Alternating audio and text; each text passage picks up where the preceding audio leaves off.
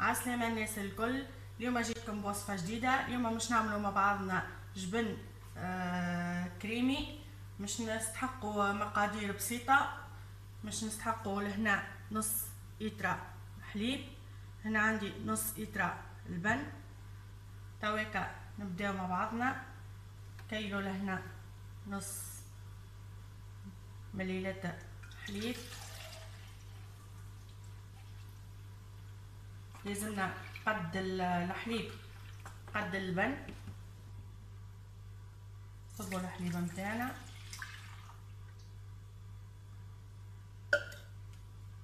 تويكا نخليوه على النار.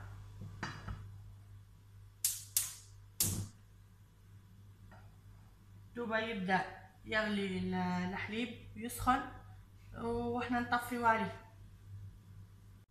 الحليب متاعنا تويكا سخن ما نخليوهاش لين يغلي. دوب هكايا يسخن وإحنا نصبو عليه الحليب الرايب البن. كيلو كيف كيف؟ 500 مليلتر البن.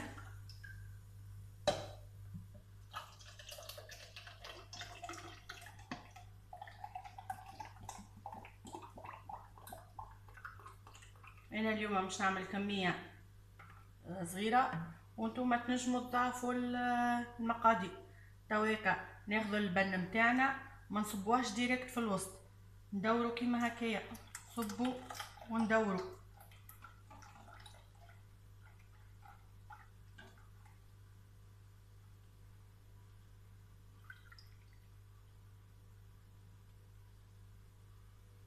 إن شاء الله تكون الصورة واضحة. تويكا. ناخدو ملعقة. رشا ونعملو هكايا. بالسياسة بالسياسة. تويك نلاحظو اللي الجبن بدأ يتكتل عندنا. بدأ يفصل على بعضه. ما نحركوهاش بالقوي. بالسياسة بالسياسة.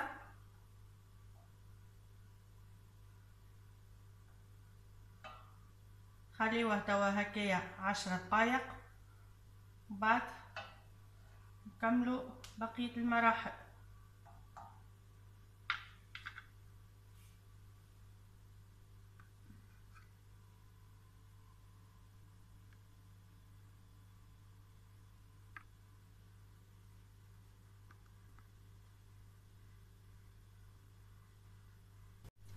بعد عشرة دقايق مروا على الحليب واللبن متاعنا لاحظوا كيفاش فصل على بعضه ولا جبن متكتل وحده والماء أصفر. تويك ناخذوا آه صفية كيما هكايا ونزيدوها آه تبقى هكايا موسلي. لازم تكون ما تعديش الجبن متاعنا يتصفى كان الماء. هكايا بسياسة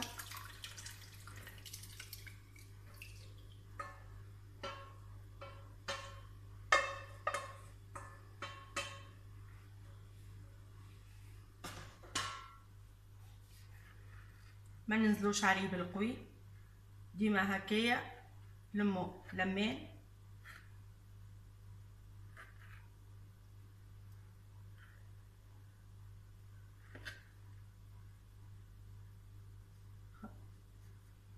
كيما هكايا كيما نلاحظوا الجبن قاعد. كتل.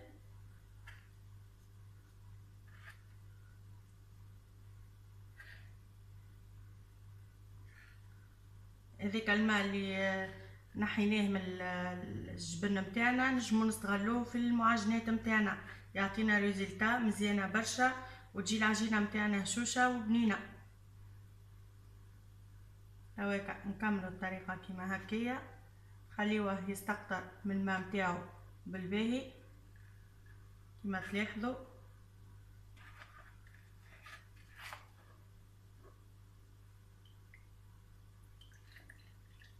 هذايا الماء نتاعو كيما هكا. وهذايا الجبن نتاعنا كتلنا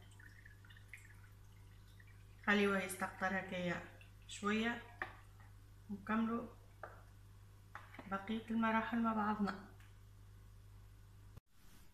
الجبن متاعنا تويكا استقطر كيما هكا ولينا كتلة آه، بالطبيعة ما نخليوهش لين ينشف من الماء متاعو complètement خليوها فيه شوية ماء. تويكا ناخذو mixeur plongeant.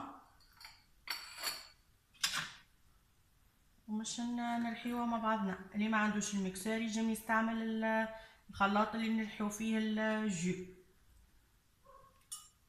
تويكا قيموها هكا. سياسة.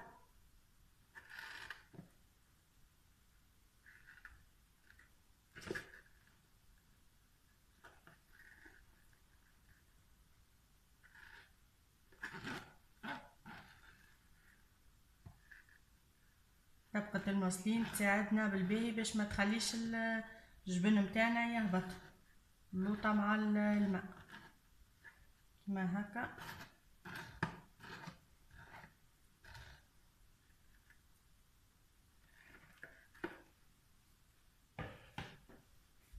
ناخذ الجبن متاعنا. نزيدو معاه مغرفة زبدة.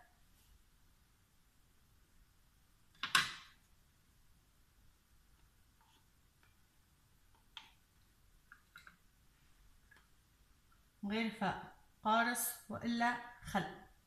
متواجد عندك في المنزل.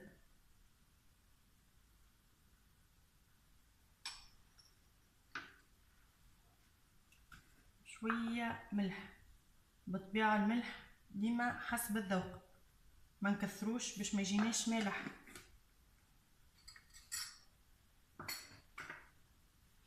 تواكا مكسيوه بالباهي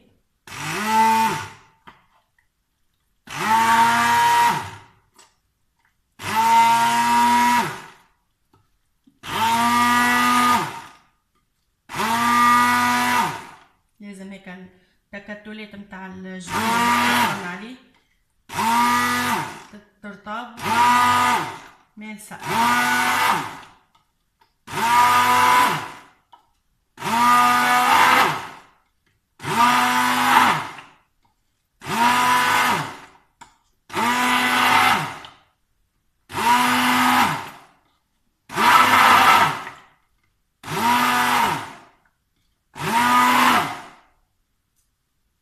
تلاحظوا ولينا كريمي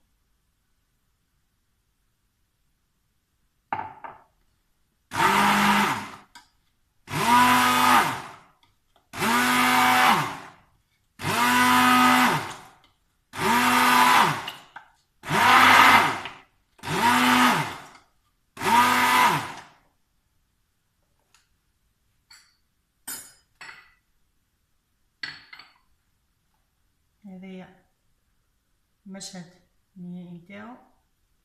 تويكا نخليوه في الثلاجة. هو تو مازال سخون نخليوه في الثلاجة يتماسك شوية ومن بعد نوريكم القوام نتاعو.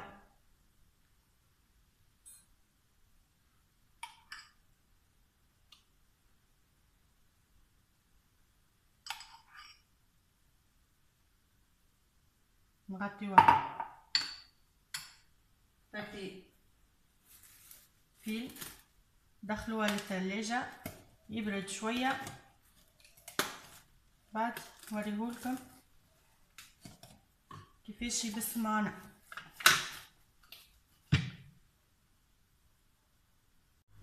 تويكا بعد ما برد الجبن متاعنا وتماسك بالباهي تويكا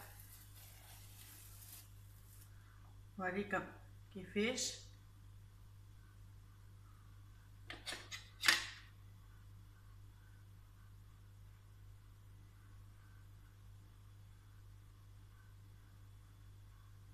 الجبن متاعنا متماسك. نحطوها في علبة.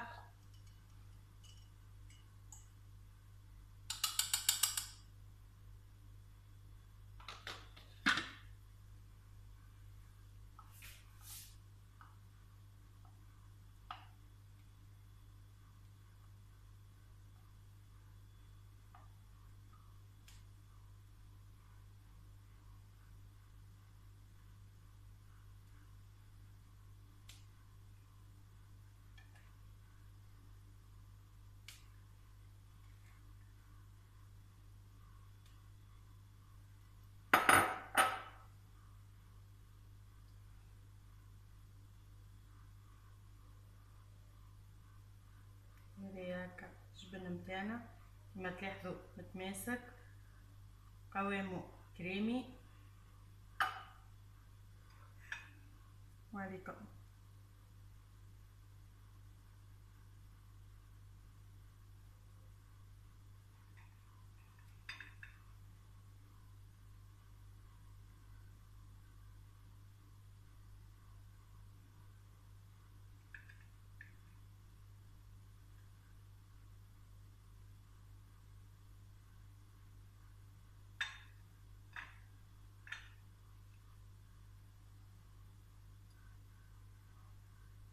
الكمية هذه طيحت لنا كمية الحليب واللبن طيحت لنا كمية لا بأس بها.